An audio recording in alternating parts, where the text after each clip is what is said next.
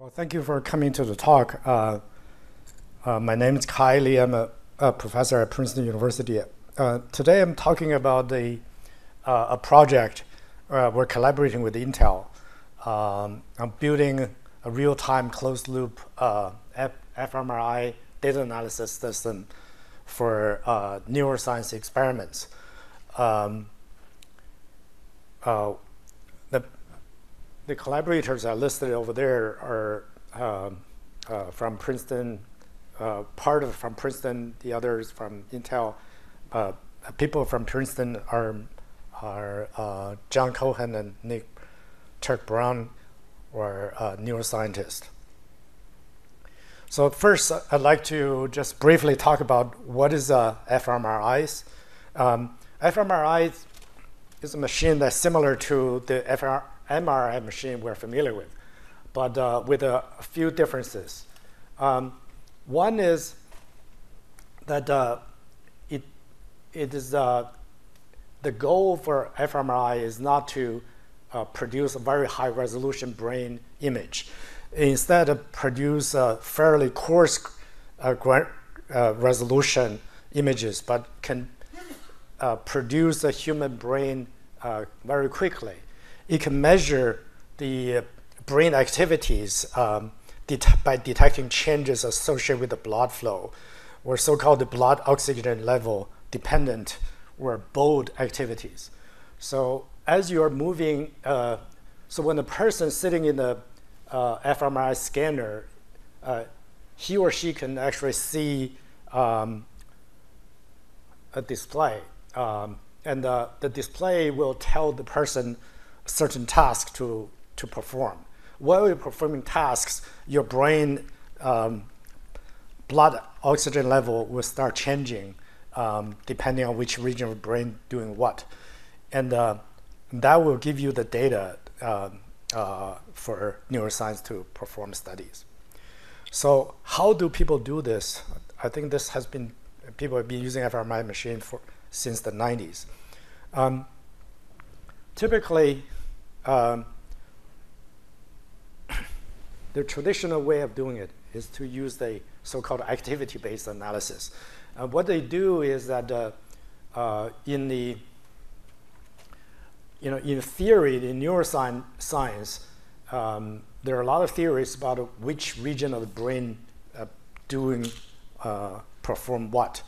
Um, but now with a functional MRI machine, you'll be able to um, look at those brain volume and uh, measure its activities and figuring out, confirm if you're performing certain task, which region of the brain uh, get used in, you know, in what way.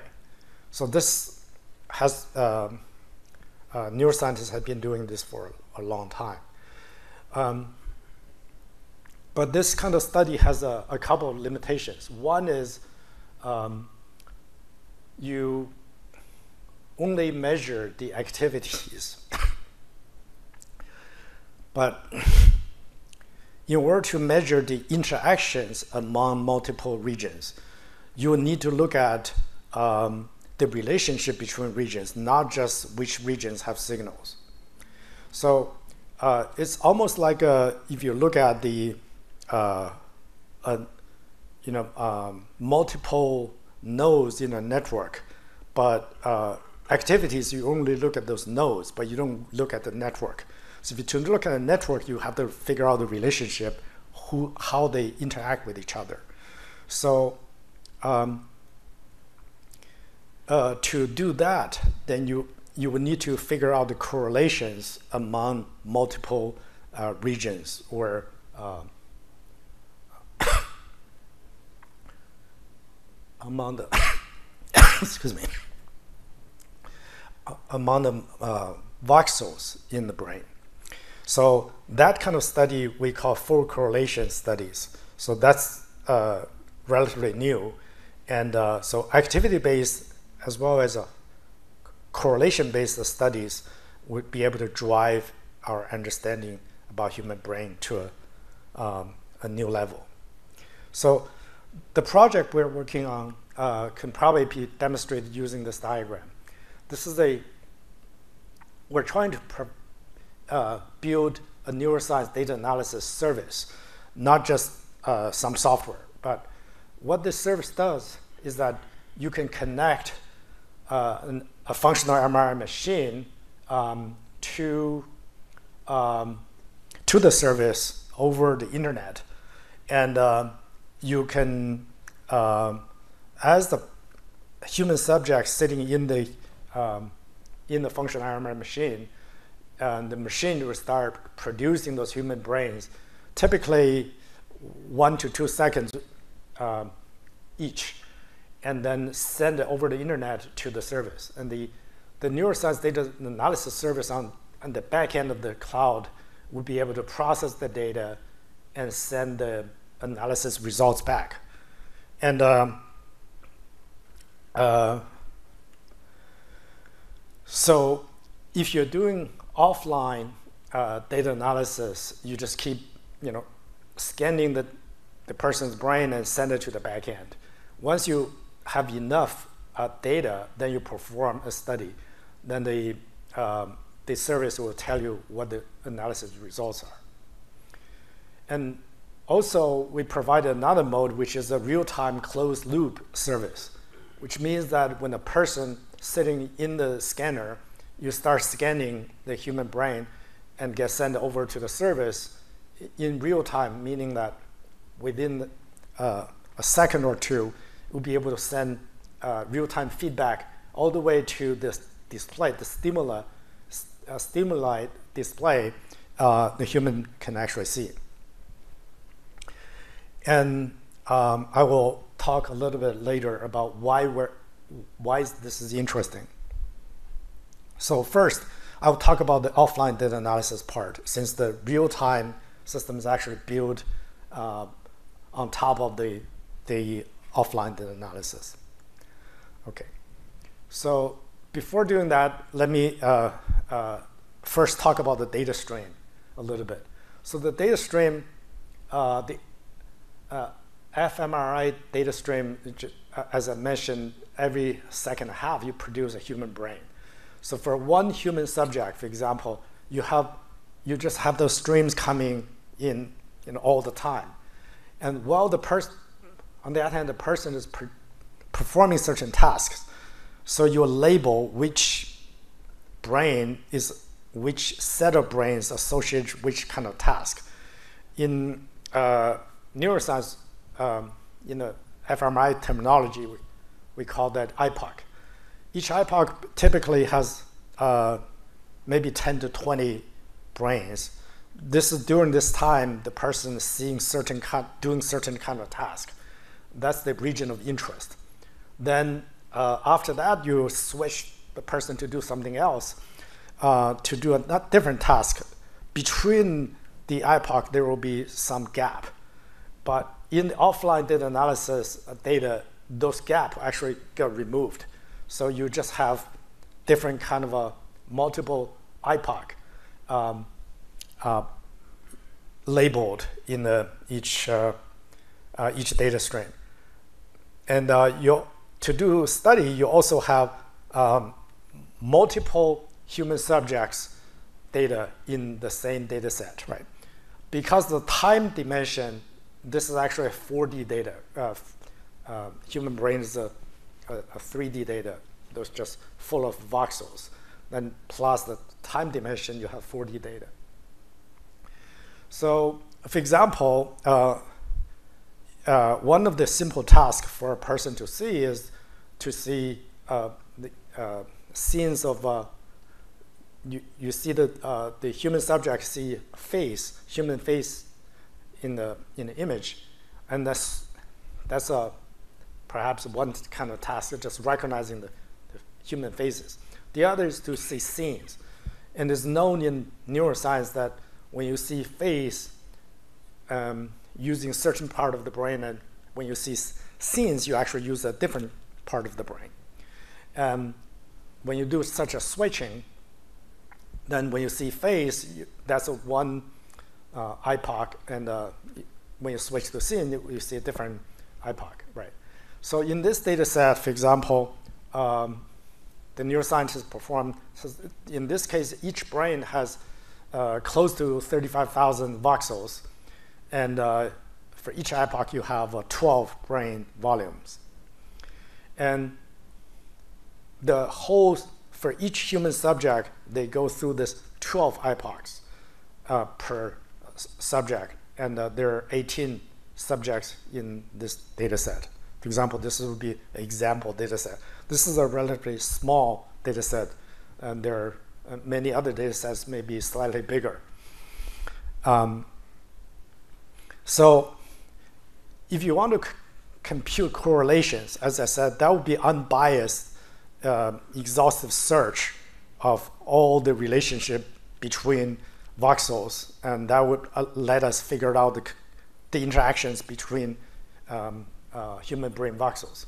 So we imagine that a particular voxel in one of the human brain in this data stream, if you have to communicate, uh, compute the uh, correlation with all other voxels within the same brain as well as in other brains in the data stream, that's a lot of computing, computing right?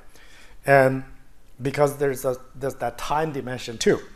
So if you look at that data set I just mentioned, um, phase-in data set, if you truly compute full correlations for each subject, and uh, that will, you need to compute 220 trillion correlations. That will require 1.8 petabytes of memory to store. That's just you know, uh, not even trackable with this small data set, right? So what, so the neuroscientists would need to come in to figure out what, uh, what are the correlations actually useful, meaningful in neuroscience perspective, and what are or not. Then you can do some great reduction at the higher level. So one way to do this would be to do, you only compute full correlation for each epoch. So each epoch, remember, we have 12 uh, human brains. We actually uh, compute Pearson correlations. But instead of uh, uh strictly doing that, we actually reduce that to a matrix multiplication. And that becomes um, uh, uh, each, um, for each epoch, you have, you produce one correlation matrix um, that's uh, about 35,000 by 35,000 matrix. By doing this, you have about 120 billion correlations, and you need about one terabyte storage, which is very much manageable in a, uh, even a small cluster. So, um, so let me just run the, briefly tell what the algorithm is. You compute first. You compute correlations for all the voxels, right? This this is a meaning that um, for voxels, you produce one matrix for each epoch. Second, then you need to normalize those correlations for each subject with other subjects. Right? And then you do voxel selection and classification. Um, so the challenges for doing this is that even with that reduction, I think if we're just compute correlations, Pearson correlation would take about nine hours on a server. But that doesn't take that much time. The classification have to do a lot more. It would need to do cross-validation. And uh, that would take over 600 days if you do backend ca calculation. So um, but what we want is to be able to finish this computation even offline in minutes or seconds, right? Um, so what we do in the uh, in terms of infrastructure is uh, with uh, Intel and NSF help, we set up a cluster at Princeton. Also, Arista uh, uh, contribute uh, 10 gig network switch. Basically, we have 50 nodes server. Each has a, a two Xeon E5 CPUs and also two uh, Xeon Phi um, uh, uh, PCI cards and uh, with a 10 gig connection. This is uh, our compute infrastructure. And which has a, uh, the Xeon has a if you put all the resources together, essentially we have about 800 Xeon E5 CPU cores and 6,000 Xeon Phi CPU cores and uh, 1.2 petabytes of disk storage, um, 65 uh, terabytes of flash, and uh, 12 uh, terabytes of uh, RAM total. So um, on this, to use this infrastructure, you have to do power, you know, to use them well. Um, what we do is we just use a master slave, uh, sort of master worker type of uh, framework. Essentially, you send a brain data or data set, uh, the master take on that and divide the job into smaller pieces and send it to different workers. And it, what, when the data set comes in, the raw data set is actually not that big. The, what's big is the correlations. But once you start computing correlation, they start to explode. So you want to replicate the raw data on all the nodes. Then uh, creating those tasks by partitioning the raw data into voxels. So you basically assign certain number of voxels to each worker and assign those workers take on the task and start performing. And depending on what kind of job the worker do, do the worker may hand um, finish the work to somebody else and so on and so forth. So this is the, the model. This model has, um, has another advantage, which is the if um, you have a node failure, and particular, for example, uh, consider a, a, node that running a worker uh, task failed, then the master can figure out uh, the node failure and assign that job to a new worker. So this uh, um, this framework allow us to implement fault tolerance. So uh, the, the um, the compu computing for full correlation studies, uh, as those algorithm steps I, I outlined before, is uh, fairly parallel. It belong to the embarrassingly parallel category, I think. So the key is really to optimize each worker task uh, to do well. So if you look at the pipeline a little further, the, um, the, there are three stages, right? The first stage is compute correlation. As I mentioned before, you compute a one um, matrix per epoch. And so uh, depending how many epochs you have among all human subjects, then you need to compute that many uh, um, correlation matrices. And then the second, second stage is to do within subject normalization. And for each epoch, uh, each matrix, uh, uh, correlation matrix, uh, voxels you're, you're responsible for as a worker, you need to go through other uh, uh, uh, matrices and, and, uh, and, normalize them. So they will be in the same uh, value range. Finally, you want to do voxel selection classification. That typically has two phases.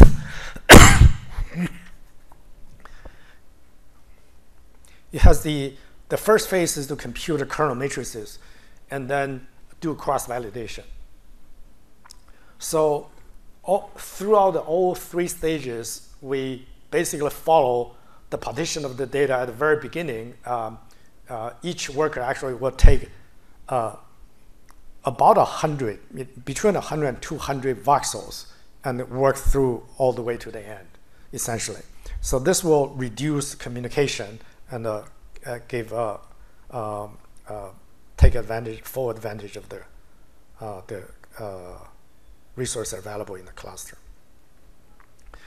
So in terms of optimization, um, what optimization do we do? Um, I think they, we, we know that the key to the modern processor, there are really three main things you need to do to get things run fast, right? The first is to uh, fully utilize the vector units. Uh, whether you are on Xeon um, CPU or on Xeon Phi, especially on Xeon Phi, you got to be able to uh, fully utilize the vector units. And the second is to be able to use multiple cores and uh, uh, to make sure they um, they do, they perform very well, and uh, um, you don't lock up among them. And uh, the third is to reduce cache misses. If you have cache misses, your vector unit or multi-core would not perform very well. So um, as the gap, uh, even though uh, the CPU clock rate is essentially stabilized, but the gap between um, uh, CPU cycle and the memory uh, fetch is still very long. It, it's um, uh, factor of a hundred, uh, a few hundreds.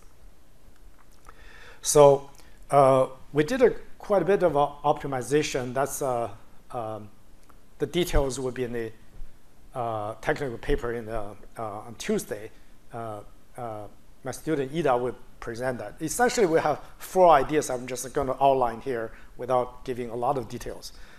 Uh, the first is to do uh, blocking for a very you know, strangely shaped matrix. So here, uh, it's very skinny and tall matrices because the voxel, we have 35,000 voxels, but each, each task only take 100 or so.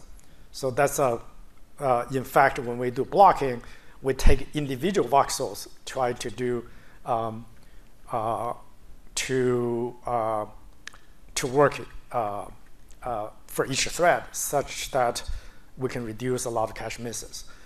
The second is that uh, as you go through the uh, pipeline stage, we found that later pipeline stage, adjacent pipeline stage may actually use, need to use the data produced uh, from the previous pipeline stage. Now, you could wait until the whole pipeline stage finishes and start with the second pipeline stage, but, uh, but that may cause a lot of cache misses.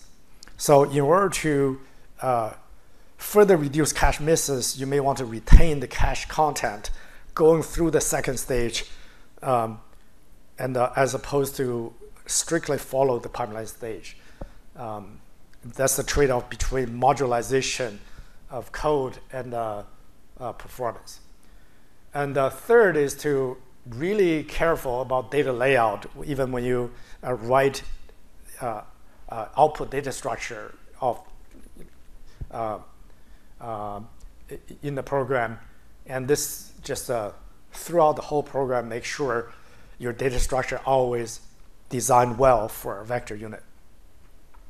And then finally, parallel, doing parallelization for multi-core as well as for um, multiple nodes.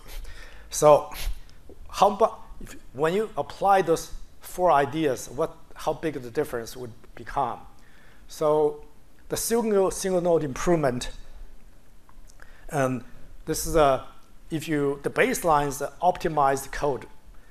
You do all the optimization possible, but except you're using Intel MKL and uh, libsvm, this is the for classification, um, for their APIs. And if you do all that, that's the baseline. Then, uh, then you do optimization, substituting libraries, and you doing further optimization of those four ideas. Then the, on Xeon Phi, we, we can see that uh, uh, the uh, for two data sets, one is the face and scene, the other is attention. We we essentially see the uh, improvement uh, a factor five to factor 16. So that's a very large uh, improvement. If you look at the that optimization, if you look at the running the same code on e, uh, Xeon E5 versus Xeon Phi, you, you, know, you can make uh, two observations. One is that um, the baseline case, um, Xeon Phi runs faster. This is a speed up, right? Uh, normalized uh, to Xeon uh, E, E5. Uh, so um, you just look at one figure. I mean, this is two data sets, right? So the baseline, you can see that um, uh, Xeon Phi is slower in the first case by a factor of maybe 1.8 or so. The other is almost factor of uh, 4 uh, slower. Um, but for optimized version, um, Xeon Phi would be, a, the first case is uh, maybe 2.2 factor 2.2 faster. The other is 1.6 uh, times faster than uh, Xeon uh, E5. Well, the other observation is that uh, the optimization actually also improved the, the performance on Xeon. In the first case, probably by a factor of 1.4. The other is by a factor of uh, 2.5. So that optimization carries over. So those optimizations are good optimization for uh, even for Xeon. So even this was designed for Xeon Phi. So what once you have done all this optimization and uh, run on the in the offline performance, we, as we add the number of nodes, this is all Xeon Phis. 1, 8, 16, 32, 64, 96. We have a total of uh, 100, but some of the nodes fail, right? So we could run on 96. So for the face and scene data, data set I described, that will complete offline analysis in 85 seconds. That's just a little over a minute.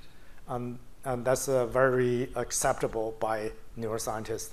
The attention data set is larger, and uh, uh, it just has more human subjects, also more epochs. So this is a 540 as opposed to 216 total. And uh, that will finish uh, 700 some seconds. That's uh, over 10 minutes. Uh, we still wish that to be faster, but you know, I, but I think the point is that this uh, uh, approach seems to be scalable. So as you add more, if you have more hardware resources, you may be able to further improve this. So uh, after building this, right, and uh, I think the, the goal is to, to run neuroscience experiments. And the question is, uh, can we find out anything interesting in neuroscience, right? So uh, our collaboration with the neuroscientists have done such a study, just compare activity-based analysis versus the correlation-based, right? So and, uh, last fall was it seconds, the time, what the unit? Uh, yes, that's in seconds, yeah, sorry. So still not where you want it to be? Yeah, for offline, I think this is acceptable. Real time is not. I will talk about real time next.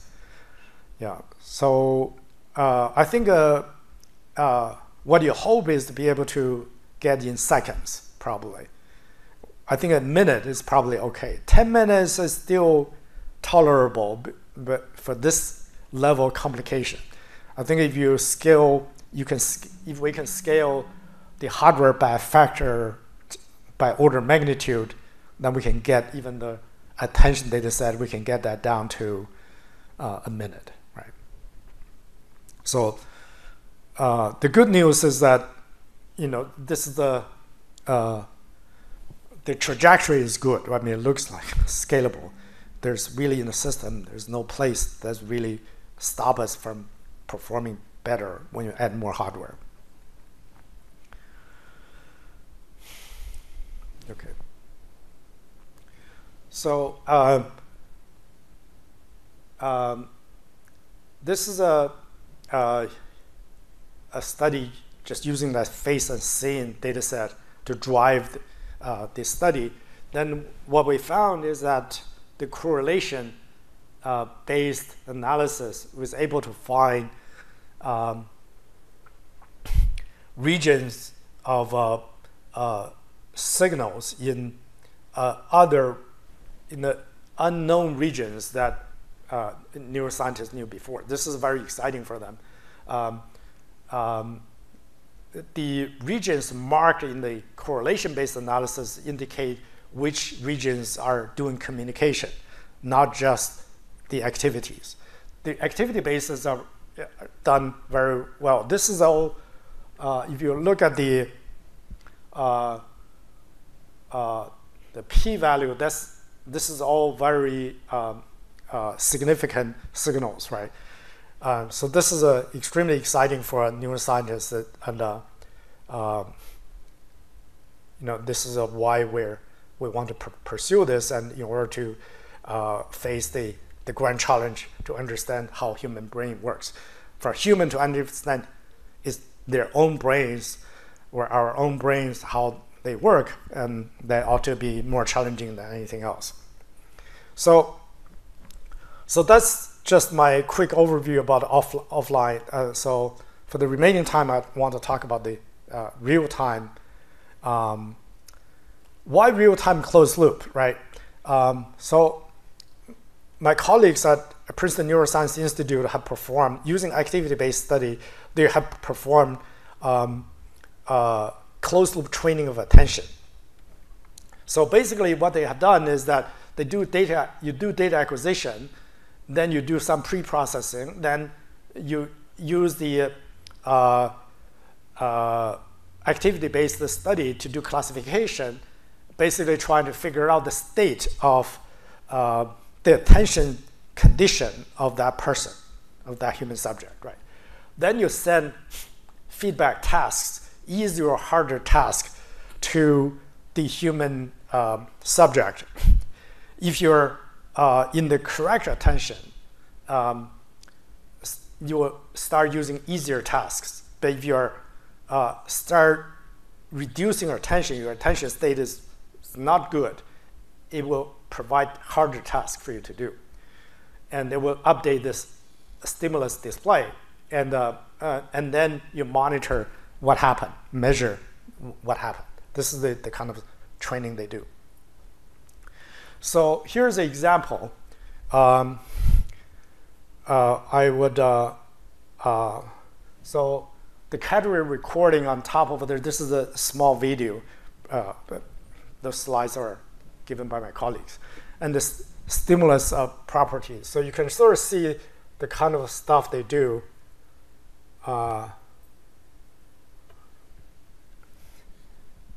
So this is a face and scene overlapped, but the amount of overlapping depends on uh, you assume the subject is asked to figure out the scene without um, figure out the face, face become noise, or ask you to look at the face, and the and then the scene would become um, noise, right? So then we record uh, your um, stimulus proportion versus the uh, attended category, you know, attended category. So this is the sequence of face and scene, you know, used in this training. So what's interesting about this kind of study is that they will discover that uh, with the feedback group compared with the control group, and there's a huge difference, meaning that training is helpful for improving the uh, improving uh, humans' attention. And uh, also, the, you, if you look at the classi those classification, the, it becomes clear, the gap becomes bigger. So, uh, so that's interesting, the study that published in Nature uh, Neuroscience uh, uh, this year. They, what's, I think what's exciting here is that uh, in the real-time closed loop environment, you'll be able to manipulate a human brain, right, by training. And then you start asking the question, what else can I do to manipulate human brain? That, you know, so that becomes a, a very interesting study, especially if you understand the, uh, if you, if you, we can do that with a unbiased uh, full correlation study, then with the interaction information, you can manipulate more. You can do more in neuroscience. So now, um, how do we do this? This, uh, you know, the scanner acquired data is sent a human brain every second half. And you do some pre-processing, just like uh, using the activity activation-based system. Now you do classification, then you do feedback, right? I mean, this is the same as before, except now uh, I just want to point out that you, for neurofeedback, if you want to real time, you got to finish within a second half or about that amount of time.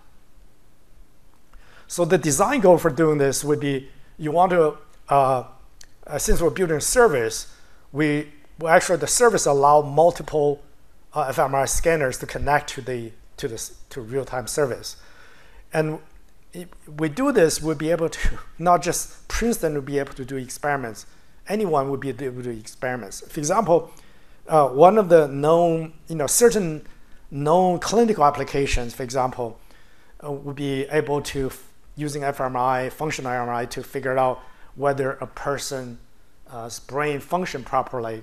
Um, you know, let's say if in a, in a football match, if somebody got injured and you suspect that person have a concussion, could, you know, if you have a scanner in the back room and you can get this player off the court and put into the scanner in real-time service, you can figure out whether this person truly have a concussion or not.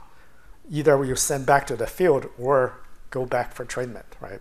So you can imagine for clinical application, but if you conduct neuroscience studies, any team uh, in the world, as long as you have an internet connection, that have enough bandwidth to send your brain, you'll be able to use the service to do studies. So we're trying to enable the community to do something interesting. But you have to be able to uh, provide real-time feedback uh, every second half. And you want to use resource well, you don't want to do as fast as possible. You want to use the minimum amount of resources, computer resources, to uh, to be able to provide real-time services. Those are the challenges. You also want to tolerate no failure. You don't want you want to be able to recover within a short period of time. So the challenge is that one challenge we, we found the fMRI scanners were made by different vendors. Even the same vendor, we have no idea what they have been doing in their box. So, but whatever is going on is the processing time before they send out the brain vary. It varies even a single machine, it will vary between a 200 to 800 millisecond. so you also have, excuse me, heterogeneous resources, different kind of uh, machines, the different, different machines have different nodes, have different amount of memory resources, different number of CPU cores, and so on. And you want to be able to tolerate failure. So that's those are the the challenges for building real-time system. Uh, although this is not a hard real-time, I mean, if you provide stimulus feed, neural feedback, a bit delay, a couple second delay probably wouldn't make a big difference in the big picture but you don't want to delay all the time, right? So you want to try to do as best as possible. So if you look at the real-time pipeline, then it's actually very similar to the offline. One is that you, now you contribute matrix for, you don't have to compute matrix, uh, co correlation matrix for all epochs. You just compute for the current epoch. So that's simple. Just one for each epoch, maybe 10 or 20 um, brain volumes to produce one correlation matrix. And the, the second stage is become simpler because you, the new data is only one correlation matrix. So you only need to do uh, normalization for that one. So if you hand the voxel, certain number of voxels to worker, the worker only need to do very little. It's a really think about that you're adding new piece of data, but you want to delete the oldest matrix data, remove from that. It's like a sliding window. So it's hard to, I think you'll understand it's hard to draw a picture, but it's easy to understand. Then for the third stage, classification of voxel selection, and there are two phases, right? You compute kernel matrices, in this case, similar to normalization, you want to, um, you also have this sliding window, right? You want to get rid of the value from uh, the oldest correlation matrix and add this thing in. So um, you can work out the details, but it's not that much computing. It's very little, actually. But for voxel selection, when you do cross-validation, that requires more work. Not as much as before, but that's where most of the work is. But the interesting thing is voxel selection, this is like doing training. it doesn't have to update that often. Also, you only update between epoch, which has a gap. That back gap is several seconds. So we've shown that you can actually do this with the current hardware without uh, much problem. And uh, so here's the, uh, so essentially what, you, what I'm showing is that this is very similar to the offline, except simpler. So if you um, make, uh, uh, how we do this is that we will, um, the offline analysis uh, break that task into many small modules, right? And some of the modules get to do more work and uh, for, um, for offline, but will do less work for um, online. And, but you need to have those implement sliding window type of implementation in the real-time system to make this whole thing work. So the difference, if you look at that, uh, you off online versus offline just requires a lot less computing. And um, um, this is the, uh, the short summary. And the status of uh, the real-time functional full correlation matrix analysis system is that we're, um, if you go into a little deeper in the implementation detail, we're using the excuse me, Akka uh, actor toolkit, which is uh, uh, initially our initial implementation of uh, uh, offline analysis uses MPI as the communication mechanism. And just because my student felt that was the easiest to do and a reasonably high performance, we have replaced that with the uh, Actor Toolkit, which using Scala uh, for um, control and communication. And, uh, and why do we have to do replacement? Because uh, MPI communication mechanism does not assume, does not really allow you to have deal with the node failures. If a node fail, you would have to start over again. So, and uh, so you want a connection-based communication mechanism that al can allow uh, node failures. And, uh, and in this toolkit, with this toolkit, you implement each module as an actor. So we have many, many actors. you just, that's the terminology, but the actor model was proposed by Hewitt back in 73. Okay, it's a, it's a good abstraction. So everything is an actor, you, where everything, every module becomes a worker, right? Um, so with uh, uh, this team of people uh, on the project have implemented this, right? Currently, the system run in real time.